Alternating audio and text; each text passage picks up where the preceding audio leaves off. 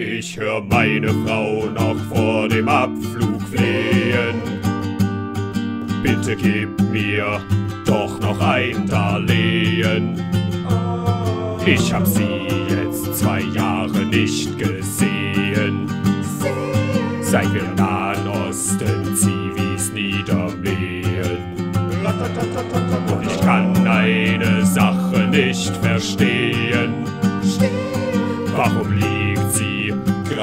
in den Wehen? Müsse es nicht irgendwann geschehen, dass Föten in Fäulnis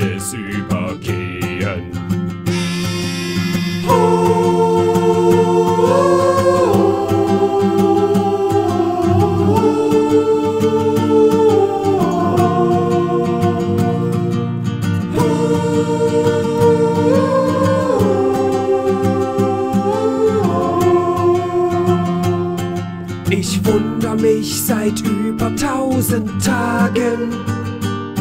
Warum fässt er mich an, ohne mich zu fragen? Mein Mann ist auswärts Terroristen jagen. Und mir geht's zu Hause an den Kragen.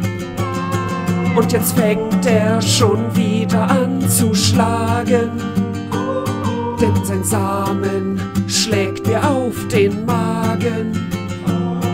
Ich hoffe, ich werde nicht dabei versagen, meine Schwester für ihn auszutragen.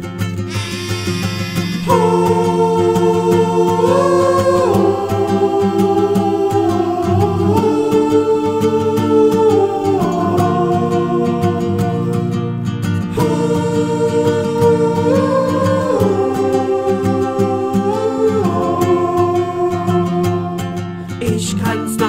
den Jahren noch nicht checken.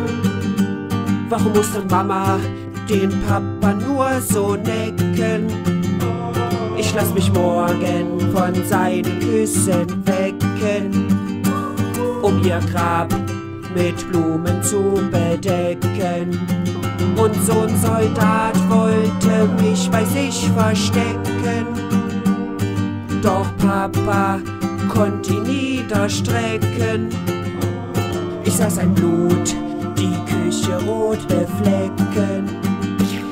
Und ich und Papa, wir ließen ihn uns schmecken.